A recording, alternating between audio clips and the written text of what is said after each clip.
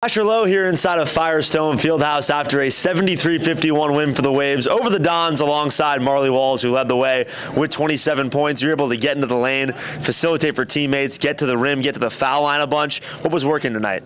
Um, I think we uh, saw their pressure. and I think we knew we had to attack it. We had to find the open man. They were trapping a lot in the end, so I think as long as we stayed composed and found the open man, that was the way to beat it. We talked about the offense. Let's talk about the defense a little bit. You held San Francisco as a team to 19 for 80 from the field. What was the key? Um, going into the game, we knew they had some big, high-scoring players.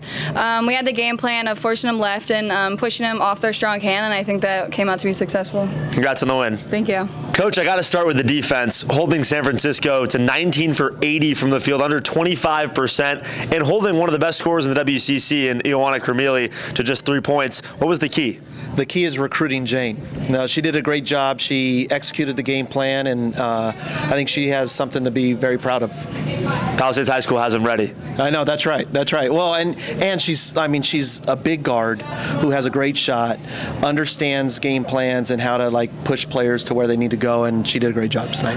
What can you say about the play of your point guard Marly Walls down the stretch, getting fouled, getting to the line, making free throws, 14 of 14 from the line tonight for her? Well, we're trying to make it hard for her, right, uh, with all those turnovers and having to go up the up the gut. But no, she's a she's a great leader, you know, and, and she understands when she needs a bucket. We, she understands what our team needs. But in the end, um, coming back from what she shot with LMU to go 14 and 14, I mean that's big time basketball. Congrats on the win, coach. Thank you. Thank you.